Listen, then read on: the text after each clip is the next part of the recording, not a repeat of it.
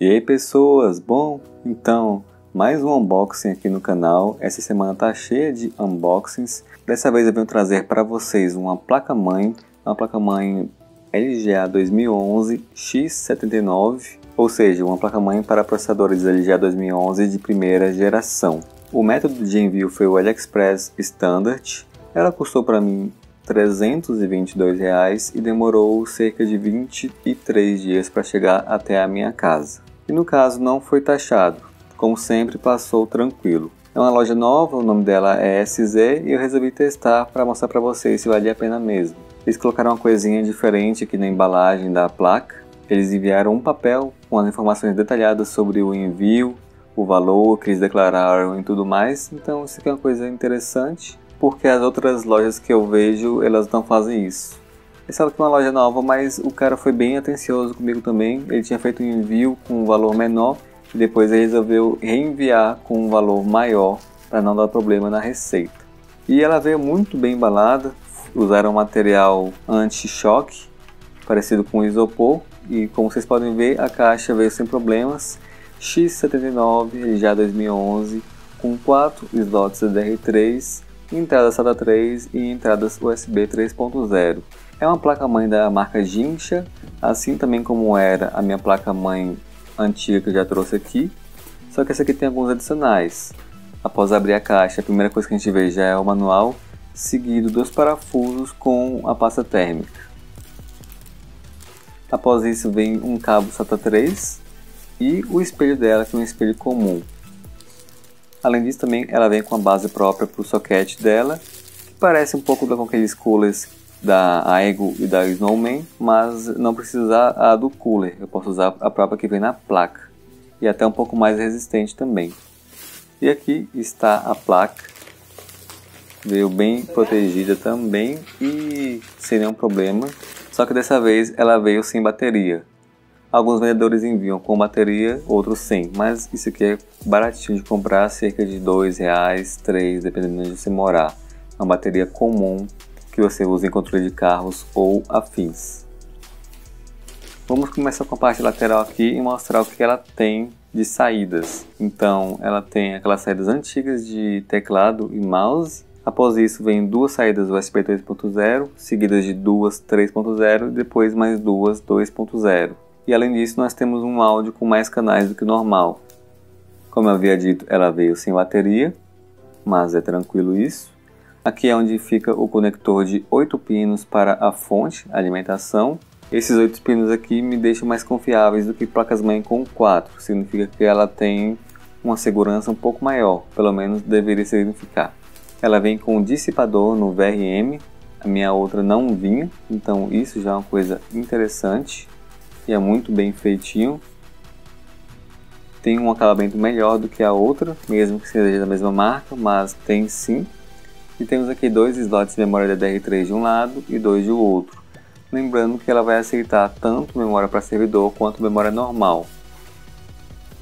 Aqui nós temos o slot M2, que é para o SSD NVMe, um novo padrão de SSD.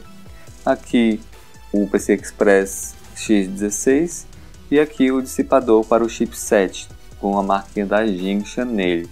Bem interessante, gostei desse detalhe a mais já vi algumas versões dessa placa-mãe que não possui esse dissipador aqui.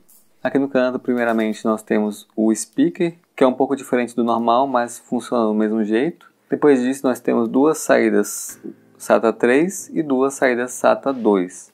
Um dos motivos por eu pegar essa placa-mãe é porque ela tem duas saídas SATA 3, enquanto a maioria que eu vejo por aí só tem uma saída SATA 3. É um detalhe diferente, algumas pessoas não se importam, mas eu queria. Embaixo tem muitas conexões, como vocês podem ver. Ela vem com USB 3.0 também, a outra também vinha. E no resto parece estar tudo nos conformes. Ah, e outra coisa é que a distância entre as conexões é bem maior do que na outra placa. Eu não sei se vocês lembram, mas eu vou deixar o vídeo na descrição. A outra placa ficava muito perto as memórias e a placa de vídeo. Elas acabavam quase batendo e também não era muito legal isso. Eu prefiro mais espaço ali para colocar o cooler, as memórias e a placa de vídeo. Parece bem fixo essa saída SATA 3, não é igual daquela placa-mãe da Colorful que estava muito mole. infelizmente. E é isso aqui a placa-mãe. Falta testar para ver se vai funcionar direitinho, mas a primeira impressão foi muito boa. Eu gostei do que vi. Vamos lá instalar então. Então, pessoas, aqui já conectei tudo, toda a placa-mãe. Eu estou usando no momento quatro memórias DDR3 1866 MHz para servidor, o cooler da Aigo, a placa de vídeo RX 480. Como vocês podem ver, ficou bem mais separado do que na outra placa-mãe. Não tive tantos problemas para conectar tanto cabo de força quanto cooler quanto a placa de vídeo. E agora vamos ligar para ver o que vai acontecer no primeiro boot. Geralmente demora um pouco, mas não aconteceu isso com essa placa-mãe. Ela até reconheceu bastante rápido o processador. E aqui está a BIOS dela para quem tem essa curiosidade. E uma coisa que eu tenho que adiantar já é que essa BIOS ela está bem parecida com a da minha placa-mãe antiga. Existem pouquinhas diferenças, mas nada demais. Outra coisa que está parecida é porque eu procurei bastante e não vi opção de overclock. Então, caso você goste de overclock e tudo mais, essa placa-mãe aqui não tem, assim como a outra também não tem. No momento dessa parte desse vídeo eu estava usando o S5 2650 e aqui é o demonstrativo de, do que existe na placa-mãe para que você possa comparar com a sua ou algum que você esteja em mente aí. No momento a memória está sendo limitada para 1600 MHz, mas isso é por causa do processador. Ela aceita realmente 1866. Bem, tem mais algumas opções aqui no chipset. Mas é isso mesmo, a maioria das coisas já vem configurado. Eu só vou mudar mesmo o SSD que é onde eu faço o boot, que está errado. E o resto eu vou deixar do jeito que vem mesmo, por enquanto, só para testar, ligar o computador e ver se vai funcionar. Vamos ver então. E realmente ligou, sem problemas algum. Estou no Windows já, mas dessa vez com um outro processador. Estou com o S5 2640, que foi o que eu resolvi usar para teste nesse vídeo aqui. Eu já trouxe esse processador aqui outras vezes no canal e vou deixar nos cards aí os vídeos que ele já apareceu. O que eu quero fazer nesses testes agora, que eu não vejo muitos canais fazendo, é a demonstração do Quadro Channel, que é uma coisa muito famosa nesses processadores LGA 2011. Todo mundo fala deles e todo mundo faz contabilidade com base no Quadro Channel. Mas será que o Quadro Channel faz tanto efeito assim? Será que ele é tão importante? Eu vejo algumas pessoas usando essa plataforma aqui, mas elas sempre falam do Quad Channel. Eu não vejo quase ninguém testando em apenas Dual Channel. Então é isso que eu vou fazer nessa parte do vídeo, testar algumas coisas para vocês e demonstrar. Primeira coisa vai ser no CPU Z, enquanto com o Quad Channel ele fez 1613 pontos, com o Dual Channel ele fez 1585 pontos. Pequena diferença houve, mas não tanto. Vamos agora para o AI da SSD4, que ele vai fazer alguns testes de memória. Então, primeiramente vai ser do quadro Channel de novo.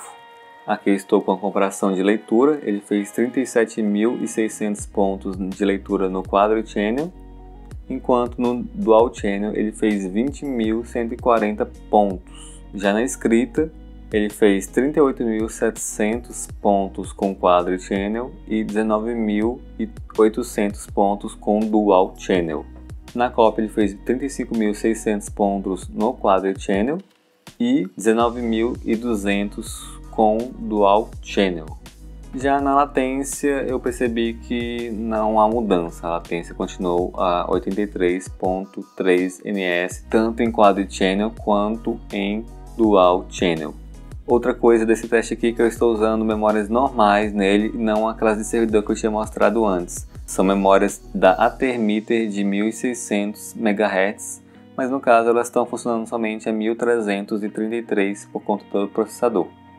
Mas esses benchmarks sintéticos, eles não informam muita coisa em relação ao desempenho real. Então eu vou usar aqui o Media Coder como base para vocês verem a diferença realmente de desempenho Enquanto com o Quadro Channel a conversão durou 337 segundos, com o Dual Channel a conversão demorou 349 segundos, ou seja, uma diferença de 12 segundos na conversão de um arquivo de 5 minutos, o que na verdade não é muita coisa. Então, apesar do que aqueles testes fizeram parecer uma distância bem grande das memórias, essa diferença em pelo menos no conversão, em render, tarefas diárias pesadas, não vai ser tanta coisa assim. Mas pode influenciar em jogos, certo? Então eu também vou trazer alguns testes que eu fiz em jogos para mostrar para vocês se realmente faz tanta diferença assim. O primeiro jogo que eu estou testando aqui é o Forza Horizon. Eu testei tanto na qualidade gráfica baixa quanto na qualidade gráfica ultra. Esse primeiro gráfico aqui é o da qualidade gráfica no baixo, no muito baixo. Então, com o Quadro Channel, a contagem média de FPS foi de 114 e a contagem de travamentos foi de 42. Lembrando também que eu estou com 16 GB de RAM. Já com o Dual Channel, a média ficou em 116 FPS, até um pouco a mais, mas eu vou desconsiderar isso, colocar como empate. E a contagem de travamentos ficou em 55. Então, travou um pouco mais do que o Quadro Channel, ainda assim não foi grande coisa. Foi cerca de 10 travamentos a mais, travamentos esses que provavelmente não vão te atrapalhar quando você estiver jogando, você provavelmente nem vai perceber. Já no Forza Horizon, no Ultra, com quadro channel ficou em 76 de média de FPS com 4 travamentos. Já no Dual Channel ficou com 76 FPS também com a contagem de travamentos em 18. Ou seja, normalmente um empate na média de FPS, mas com travamentos a mais para o Dual Channel. Só que lembrando também que esse Dual Channel aqui eu estava com 8 GB, já Quadro Channel com 16. Pode influenciar um pouco também. Ainda assim, os dois resultados foram muito bons para mim. O segundo jogo é o Assassin's Creed, primeiramente no muito baixo, a média de FPS com quadro channel ficou em 54 FPS, mínima de 14, máxima de 75, com um ou dois travamentos ali fortes. Já no quadro channel, no mínimo, a média de FPS ficou em 50, ou seja, dessa vez foi menor, 4 FPS, a mínima ficou em 11 e a máxima 75. Pelo menos no mínimo, então, realmente o channel dessa vez levou uma vantagem, não muito grande, mas levou 4 FPS na média e na mínima. E teve um pouco mais de travamento também, novamente, no Dual Channel do que no Quadro Channel. Já na qualidade de gráfica um pouco maior, estava ali um ponto atrás do máximo. O Quadro Channel ficou com 35 FPS de média, a 14 de mínima e 61 de máxima. Já, por incrível que pareça, o Dual Channel ganhou na média de 39, ganhou na média de mínima, só perdeu na máxima, que ficou em 57. Mas devo admitir que também teve travamentos a mais do que no Quadro Channel. Ainda assim, um resultado bem interessante para os dois lados. O último jogo que eu vou testar é o Shadow of Tomb Raider, no mais baixo, o quadro channel ficou com a média de FPS de 70, poucos travamentos, ficou bem legal. Já com o dual channel ficou na média de 69 FPS, ou seja, somente um abaixo. E dessa vez eu não vi os travamentos como eu tinha visto no Assassin's Creed. Nesse jogo aqui ficou mais tranquilo para a memória. Já na qualidade gráfica alta, a média do quadro channel ficou em 45 FPS e do dual channel ficou em 46 FPS também sem muitos problemas de travamentos, tanto de um lado quanto do outro. Ou seja, empate técnico no Shadow of Tomb Raider, empate técnico no Asphalt e uma leve vantagem para o Quadrichannel no Assassin's Creed Odyssey. Outra coisa que eu aproveitei para gravar é o Shadow of Tomb Raider com a RX 570 mais S5 2640 mais Quadrichannel e 16 GB de memória tudo isso para mostrar essa situação aqui que também ocorreu no i5 3570, onde o i5 ficou com uma média de FPS em 20. Algumas pessoas falaram que estava gargalando muito e tudo mais, mas testando com esse processador aqui nas melhores configurações dele, quadro channel e uma memória muito maior, ainda assim a quantidade de FPS não aumentou. É claro que S5 2640 não é um processador tão top da plataforma LGA 2011, mas é um processador melhor do que o 3570. Até porque eu já fiz outros testes no canal, outros comparativos. Eu vi que o S5 consegue segurar melhor as placas, mas ainda assim aquelas quedas do i5 3570 se repetiram no S5 2640.